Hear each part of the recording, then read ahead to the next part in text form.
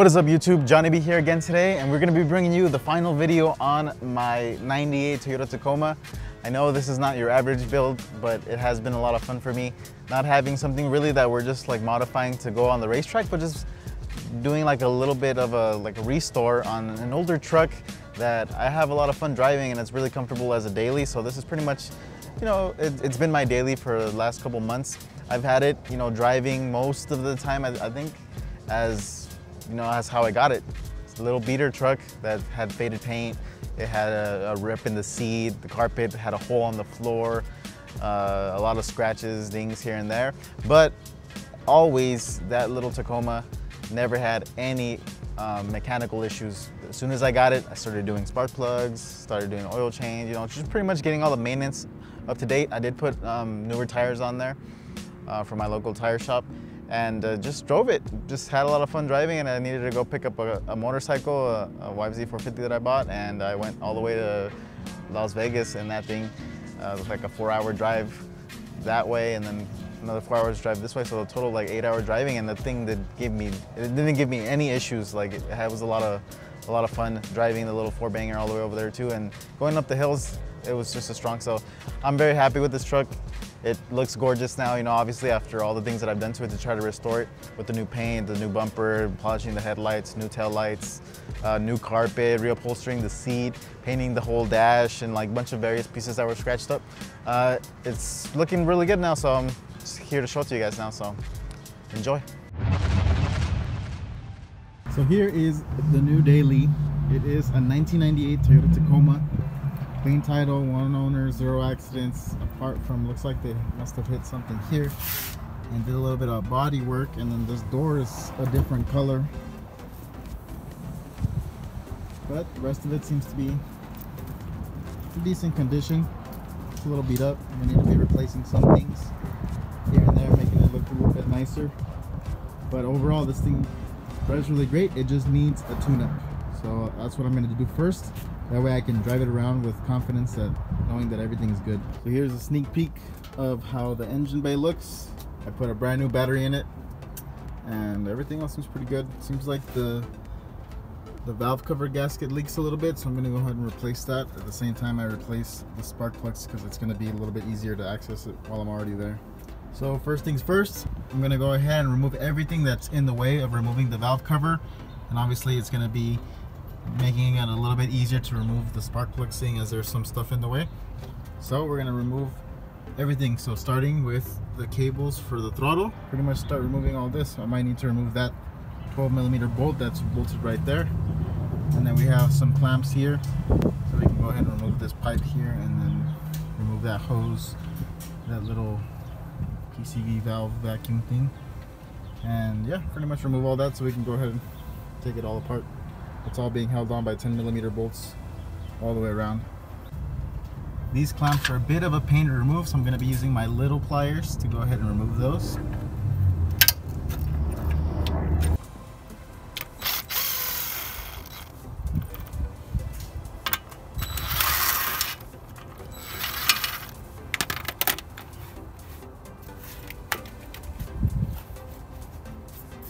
This thing's on here pretty tight. So I was actually able to remove the whole intake tube just by detaching the filter. Now that we're here, we can go ahead and replace the filter as well. It looks pretty filthy. Good thing I got a whole another one. So now I just went ahead and pulled the cables off and looks like we're getting everything freed up. Now looks like we can go ahead and start removing the valve cover except for that this little plastic piece right here that houses the wire seems to be in the way with some of the bolts. So hopefully it's not, but if it is, we're gonna have to move it out of the way a little bit. Okay, got all the bolts off. Had to remove the wire harness around the valve cover. Got them all off with my little DeWalt impact gun and a 10 millimeter socket on it. So now it should be ready to pop off. Seems to still be tied on there, so we're gonna have to pry it out a little. So there we go, I popped it off, and to pop it off, I used my trusty little pry bar, which not so little, but you get the point. All you have to do is pry in a spot, a little section that works. I use this little this little metal flange here to pry up on that little bolted area right there and it popped right up. So, you know, you just have to find a spot where you can pry it from pretty much. You can use a screwdriver, flathead screwdriver, uh, to go ahead and pop it up. But now it is detached. So I'm just gonna grab it and uncover the beauty that this engine is on the inside. Okay, so I got the new gaskets on.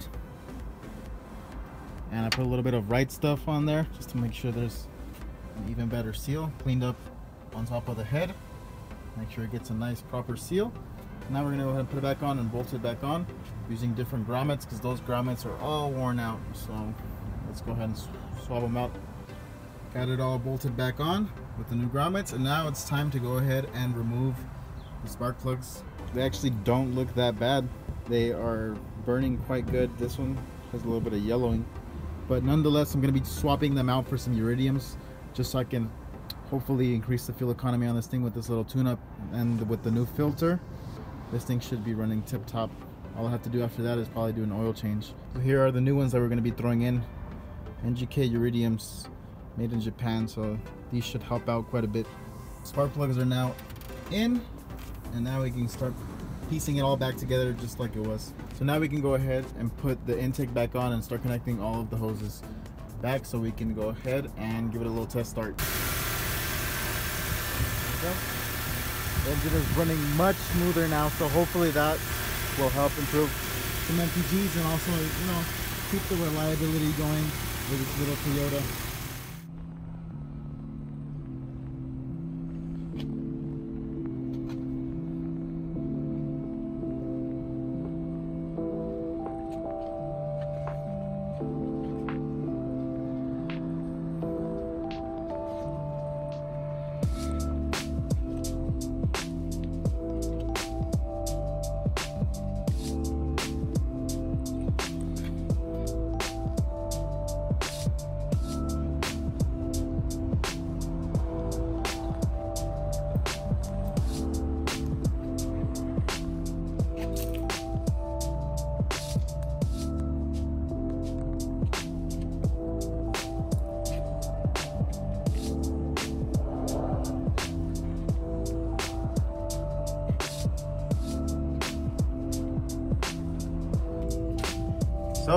The things that I have to do to the Tacoma is take out the carpet because it is disgusting.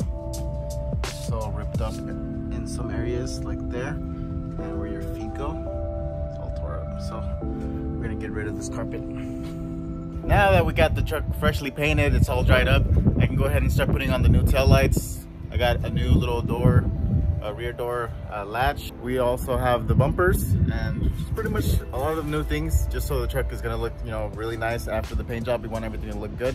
So I'm gonna go ahead and start installing all that stuff. So the first thing I'm gonna go ahead and install is gonna be the rear the tailgate latch. Here's a brand new one just because the one that I had before was kind of broken. This was kind of sideways, so figured I'd put a brand new one and it comes with brand new clips and everything.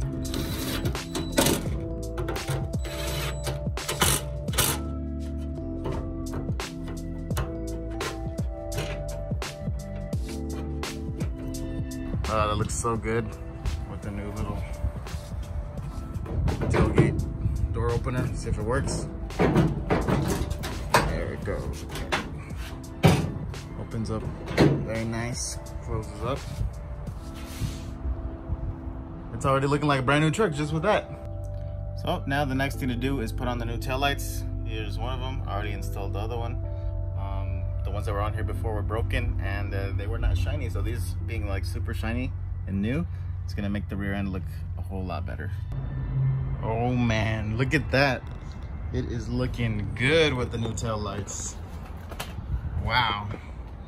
That is looking really good. Still gotta fix the little gap so I just gotta pull the bed together. But other than that wow the truck is looking super nice. Need to put the rear bumper on there. And we will be done with the back and we can continue with the rest of the truck. Just to show you guys how complete this is, look, this is where you put the light in for the license plate and it's missing the little tabs there, but you, it comes with them. You can see here. It even comes with the little plastic clips for the license plate and the bolts to put on your license plate. Like this thing's literally complete. Like it has everything you need. That's crazy. They even included the bolts. That's like, I don't even need those. I mean, I'm gonna use them because they're nice, but they included the bolts. I don't even have to swap over none of the plastics from the other bumper. That is amazing. You guys don't understand how rare this is. So it's the next day and we got the truck put together. Got the got everything on it. Um, the front is all done as well. So I'm gonna show you guys that now. But before that, I wanna show you what the front bumper actually looked like. And that's really, really nasty. You know, the plastic that it's supposed to be like is like in here. And then over here it had already discolored. And then it had this little chrome piece right here in the front of it. Um, but I wanted to delete a lot of the chrome and just go with something nice and black. Now you guys can see my FRS right here. Picked up some dirt as I drove into the alley. That's just normal for a, a low car. So let me show you guys what the front looks like now. So check it out. Look at the front. Looking so good. It is the tofu truck next to the tofu car over here. You know, we gotta represent. And then back here, we got a BRZ TS. It's getting a little dark right now, but you can still kind of appreciate how nice the truck is looking. I really like the black bumpers. Good thing I didn't, I was debating whether to paint them or not, but I think going with like the black bumpers is definitely the look. So I'm excited with the exterior. Now I gotta get the interior all restored, making it look nice. And then we will be done with the little Tacomita. So far looking good. I think I probably have about like 15 minutes taking everything apart. Got a lot of the pieces back here. And now it's getting to the point where I need to remove the airbag. I need to remove the, this little switch for the airbag, which also has a yellow connection, and then the yellow connection for the airbag underneath this part of the dash. Uh, before removing that, I'm gonna disconnect the battery uh, so that the airbag light doesn't pop on next time I go to turn on the truck. So that way we don't have to worry about an airbag light being on for a truck that's never been in an accident. So here's that, got that unplugged. And uh, now to continue removing the dash. The dash is now finally out and the inside of the truck is looking pretty bare. But we were gonna definitely find where that leak is coming from, where the O-rings are messed up. So I'm excited to get that done so we can have AC in this truck once again without the issue of it going out again. Now we can have a lot more access to all the HVAC system, which is right under here. And I get to go crazy with uh, cleaning all of this so it's not so dirty and dusty and grimy everywhere. So the first thing we did was go ahead and loosen up these two nuts that go here. Um, they are gonna be what's holding on the, the evap on the inside, which is where I assume it's leaking because I can smell Freon on the inside. So that should be all good now. Might wanna just separate them a little bit. And then on the inside, the evap core is in here. So took out this little sensor here, disconnected a bunch of the plugs. and we got a bolt right there. There's a bolt right up here. And then there's bolt there, there, and there under here. And this thing's actually loose now. Yeah, you can see, I just gotta go ahead and disconnect it from over there. Maybe it might be disconnected now, uh, probably not. So I wanna take out the O-rings from over here still, or at least separate them so that it's not catching. Got the EVAP core out, and it's not looking too good. Look at that. That looks nasty. I wonder, I think I might just replace everything just so I don't have to deal with it. Let's take it apart first. Got some bolts here and got some clamps around it as well that need to be removed. Yeah, look at that. With the cover off, you can definitely see how nasty this all is. Unfortunately, I don't believe this year had um, cabin air filter, so typically that would save this from happening, but these older cars, they didn't really have that set up yet. And uh, this is what would happen. They would just catch everything here and you'd get all this smell and I'm smelling it. It's kind of like dirty down there. So definitely like antifreeze coming out of the system, causing it to do that. So I think I'm just gonna end up replacing it because I don't feel like cleaning all of this mess, to be honest. So, yep, I'm just gonna go ahead and order everything. So I went to the store, got myself a new evap, got the new expansion valve right there, and then I got some O-rings for it that goes with the kit. So we can just replace all that and uh, not worry about any leaks or having to clean anything because look at that thing, it's nice and clean compared to the stock one. So now I have to clean this box, clean that box where it's all like grimy in there. Make sure you get all that out and uh, put it back in. So obviously we got to clean this up since this is what we're going to be breathing in. So I got it all cleaned up. Same thing with the top piece, got that all cleaned up. Now we can go ahead and put this back together uh, with the evap core inside of it. And uh, now we won't have to breathe in that nasty stuff that's right there. So this is actually pretty exciting. I've never done this before. Uh, so it's kind of a cool experience to be able to do that to this little Tacoma and the process of, you know, restoring it to where it's not 100% restored, but it's gonna be a very nice little Tacoma. I'm gonna paint the dash black. It was unfortunately very scratched up as you can see there. So I might need to do a little bit more sanding and filling in of that. But overall, the paint came out pretty nice. You can still see all the textures. And uh, like this. This gray was kind of getting kind of faded.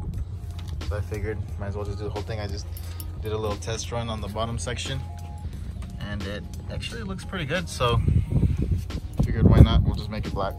Make whatever we need to make black so it looks nice inside. I got the interior put in and now one of the things that I needed to address was the check engine light. It has a check engine light for some sort of like vacuum leak. I forgot what it was because I haven't looked at it in a while and I was just driving it because I know it was nothing important. Uh, and then I saw that it's typically this like little EGR box that uh, has that, that issue because they tend to crack. So I took it out. I checked all the hoses. A lot of the hoses were damaged as well. So they had some cracks in them. So I proceeded to cut off the ends so that they could be fresh again and they still reach. So that was perfectly fine. But the box did show some signs of cracks. So I'm gonna show you that now.